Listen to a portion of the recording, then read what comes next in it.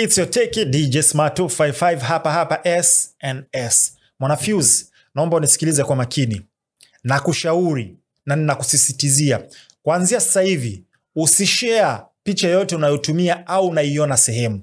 Usishare video yoyote unayotumia au unaiona sehemu.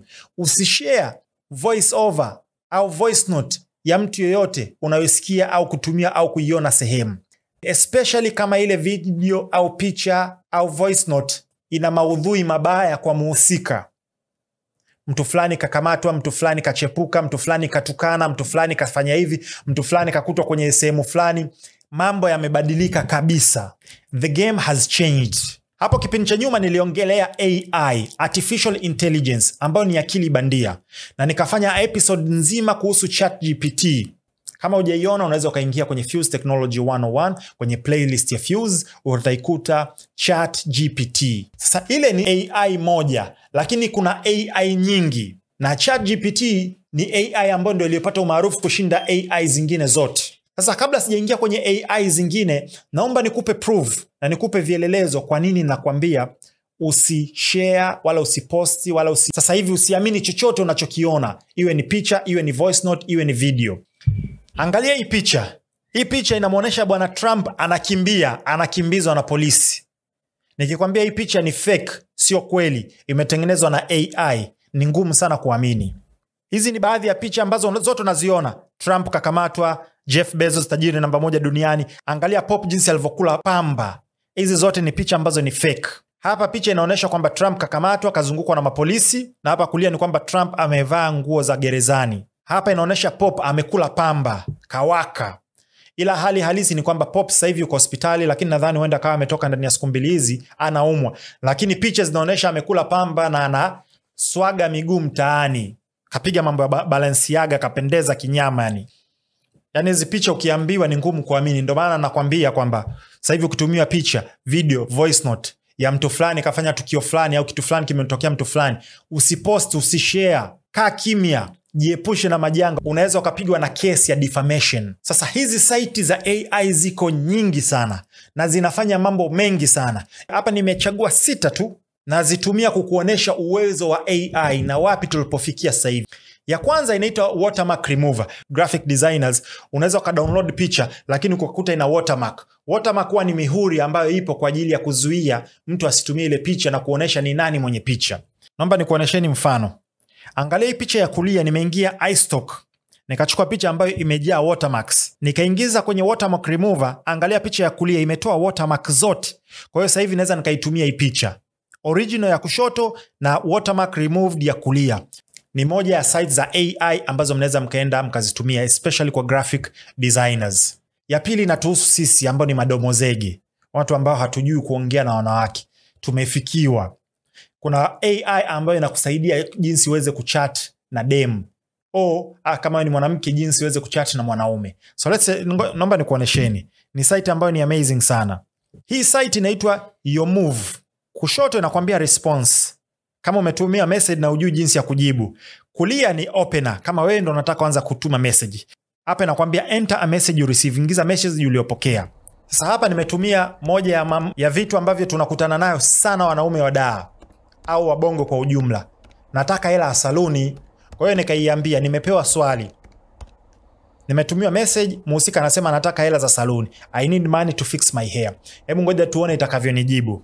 Ya kwanza inasema hivi, da bana, una bahati mmoja ya vipaji vyangu ni kutengeneza nywele za kike. Shida iko wapi? Nini unataka ufanyiwe? Unaonaje tukutane ili kuweza kuidiscuss, tunywe kidogo huku tunaidiscuss jinsi ya kuisort issue ya nywele. La pili ni la utani. Well then you better start a GoFundMe page. GoFundMe page ni page ambayo kama mtu una shida unaweza ukaenda kwenye internet ukamwambia bana, mimi nahitaji let's say DJ, nahitaji vifaa vya mziki, watu kwa hiari yao wakajitolea kukufanyia mchango. So ni utani bana, ni nywele aina gani ambazo unataka kutengeneza? Ya tatu is very straightforward. How much do you need? Unahitaji kiasi gani? Then nika switch kwenye openers. So hapa let's say mimi nataka kukutana na huyu mhusika, jinsi ya kumwambia bana, naomba tuonane. Majibu ndo haya. Unamuuliza kama ungeweza kusafiri popote duniani sasa hivi, ungependa kwenda wapi? ungependa kwenda kutembelea mazingira mapya ya nje au ungependa kujaribu restaurant ya tofauti jibu la pili ni kwamba hey there ni sawa sana kusema mambo je ungependa kujaribu kutembelea mazingira ya nje au kujaribu migahawa mipya jibu la tatu ni kwamba hey there mambo kwa hiyo namuuliza, je unapendelea kwenda katika restaurants ambazo ni mpya za kifahari au unapenda kujaribu sehemu zilizojificha mitaani ambazo wana chakula amazing? Hiyo ni kwa sisi madomozegi ai nyingine ni Konja na hii inawafaa sana wanafunzi. Hii ni ai ambayo ina vitabu vingi. Unaenda unachagua topic unayoitaka. Hapa kuna vitu vingi atomic habits Hallmark Naval Restaurant Mastery, Design Data, A Brief History of Time, How to Get Rich. Kuna vitabu vingi sana ambavyo viko humu. So let's say Atomic Habits. Nimechagua kitabu cha Atomic Habits. Hii AI inachokufanya inakufanya wewe uweze kuwasiliana na kitabu. Tofauti na kufungua kitabu uanze kusoma. Hii ni sawasawa na kitabu ni mtu hai alafu unaanza kumuuliza maswali. Sasa nimechagua Atomic Habits.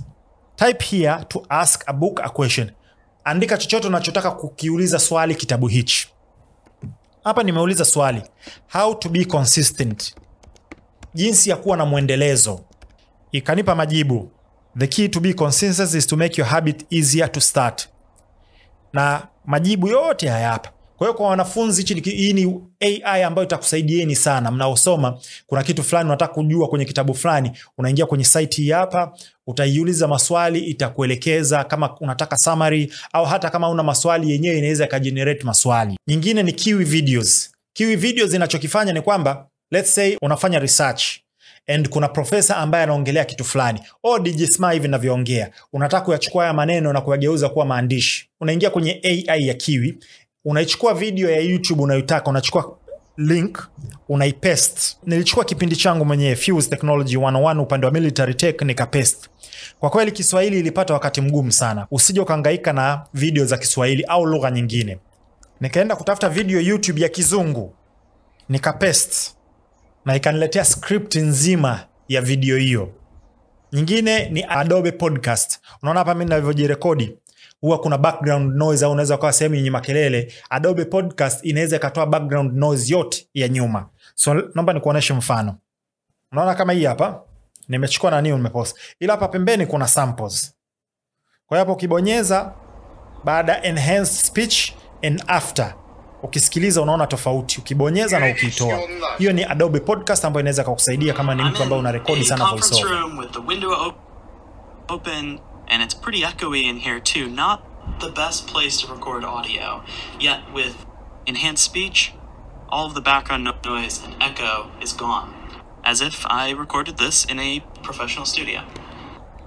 na nyingine ni, ni pim eyes hii ni nzuri lakini inatisha kwa nini nasema inatisha inachokifanya ni kwamba unachukua picha unaweza ukachukua let's say picha yangu ukaiweka kwenye hiyo site ukaiambia nitafutie huyu mtu itakutafutia instagram yake youtube yake picha zake zote inazitafuta hata kama ni za muda mrefu.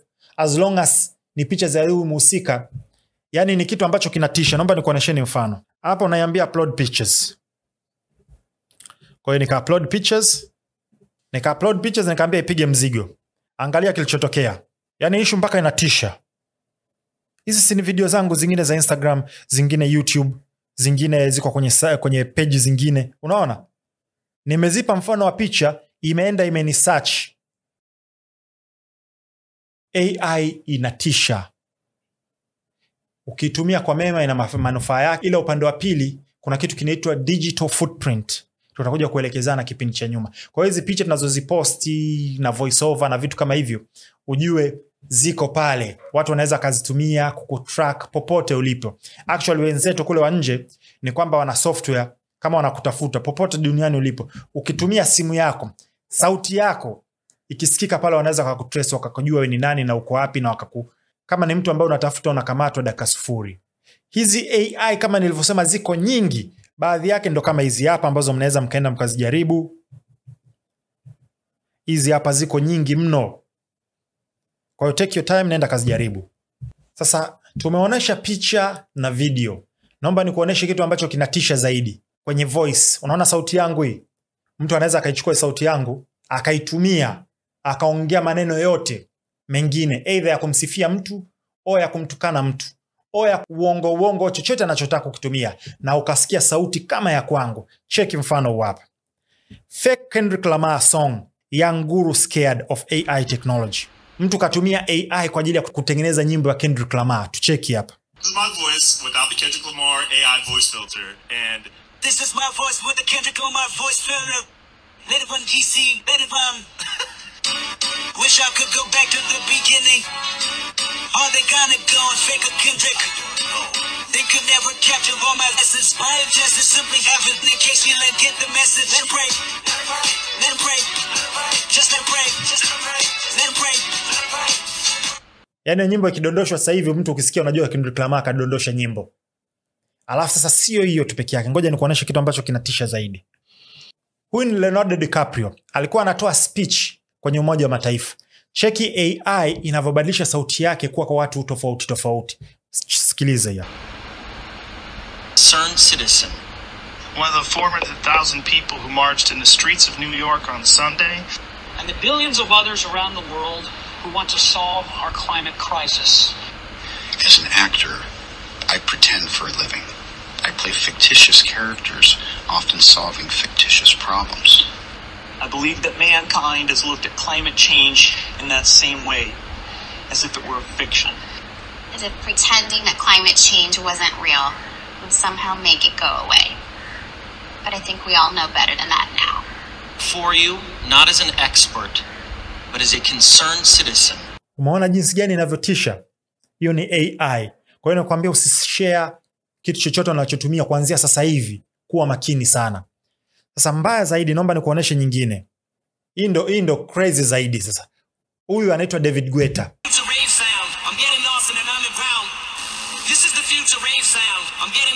underground.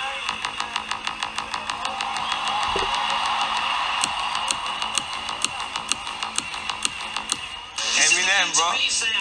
David Guetta anakwambia huyu ni eminem. Sikiliza sasa alichokifanya.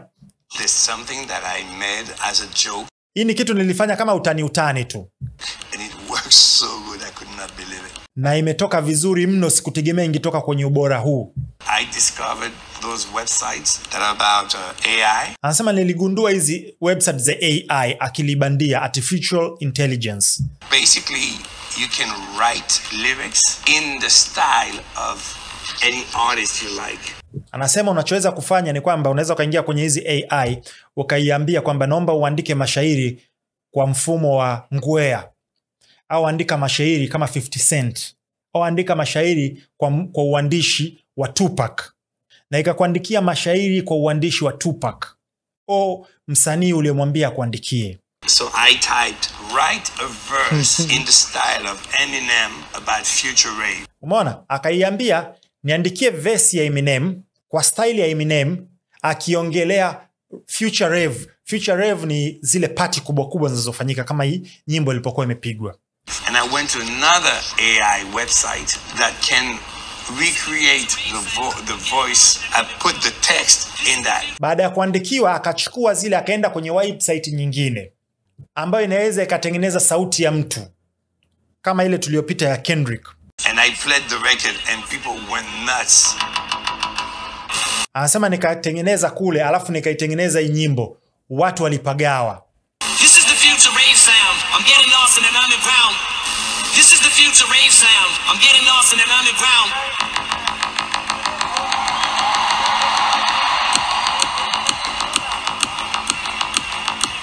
Eminem, sasa hii ndo ukisikia rave ndo kama hii party za aina hii huyo si eminem kabisa kwa hiyo jamani hali ni mbaya na hali ni nzuri.